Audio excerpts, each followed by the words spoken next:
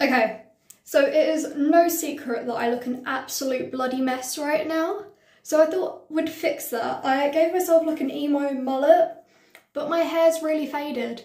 And faded hair, not a cute look. Um, and I've got my brushes and my bowls. In real life, I am a qualified hairdresser. Yeah, fuck it. Let's see how this goes. I'm gonna try and edit this myself on like um, I think the app was called CapCut. Think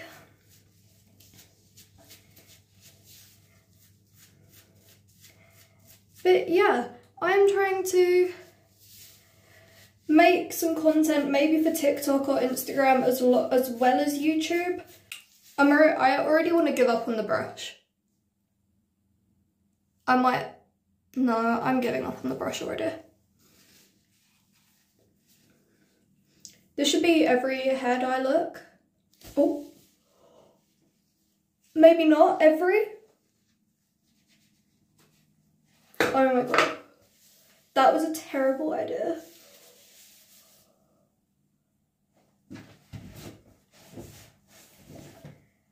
The hair over my floor. It's fine. It's fine. Everything's fine.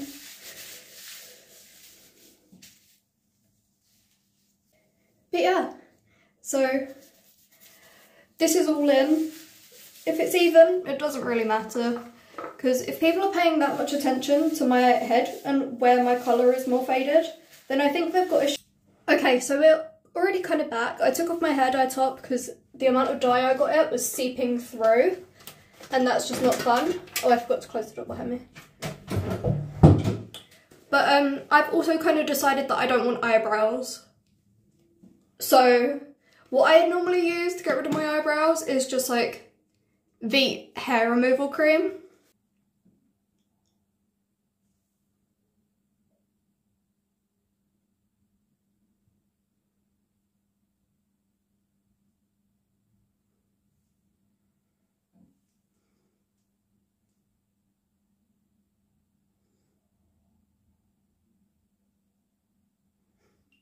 This does say on it not to use it on your face.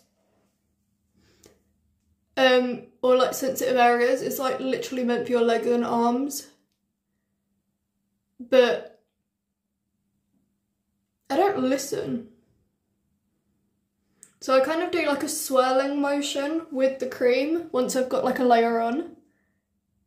Like that against the grain of the hair. Because then it gets all the way down to like the eyebrow root.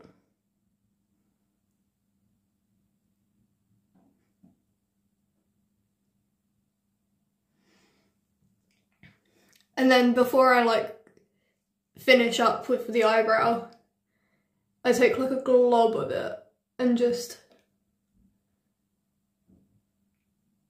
complete wrong way through the eyebrow.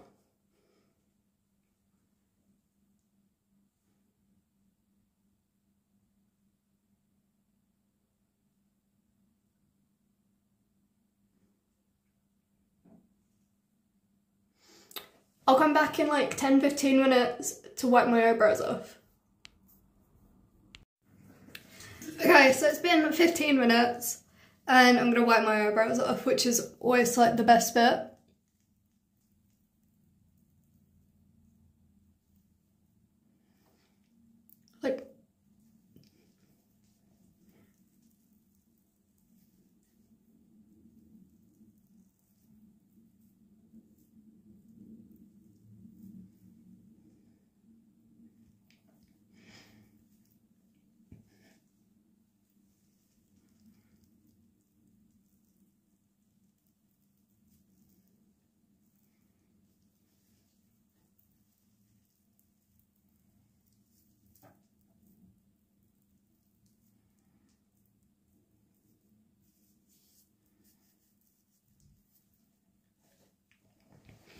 So yeah, eyebrows.